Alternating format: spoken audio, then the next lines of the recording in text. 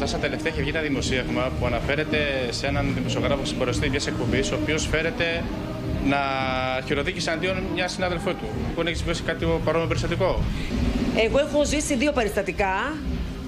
Α, θυμάμαι το ένα πολύ έντονα και ανατριχιάζω. Ήταν στο Μέγκα. Ε, ήμουν στο μακιγιάζ. Ε, ο στυλίστας μου είχε πει την προηγούμενη μέρα να βάλω ένα μπλουζάκι. Ε, το φοράω, τελικά δεν μου έκανε και έβαλε ένα πουκάμισο. Την ώρα λοιπόν που μου έβαφε η κοπέλα, έρχεται, ε, αρχίζει να τρέμει, με τραβάει από το λαιμό, μου λέει γιατί έβαλες αυτό το πουκάμισο; Και αρχίζει και με χτυπάει πολύ έντονα στον ώμο. Τα χάσα.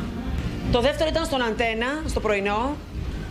Ε, ήμουνα πάλι στο μακιγιάζ και κάποια στιγμή έρχεται ένας συνεργάτης. Ε, ήταν μαζί μου νευριασμένος, μου λέει λες πράγματα για μένα, λες αυτό, λες το ένα, λες το άλλο. Δηλαδή δεν ήρθε να το συζητήσουμε.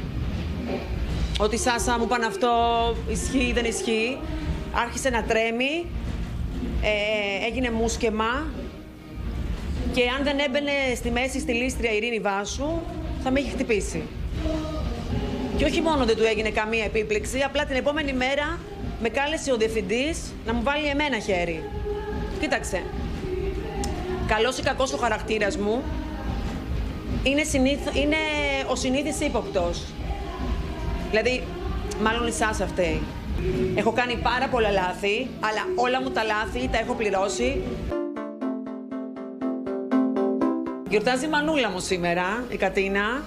Μαμά, σ' αγαπώ πάρα πολύ. Συγγνώμη που σου σπάω τα νεύρα πάρα πολύ, ξέρεις εσύ. Τα τελευταία 15 χρόνια ο πατέρας μου αντιμετωπίζει ένα σοβαρό ψυχικό νόσημα και θαυμάζω την υπομονή της και την ψυχραιμία της γιατί οι καταστάσεις είναι πολύ δύσκολες, σοβαρές και επικίνδυνες κάποιες φορές και θα ήθελα και εγώ να τις μοιάσω.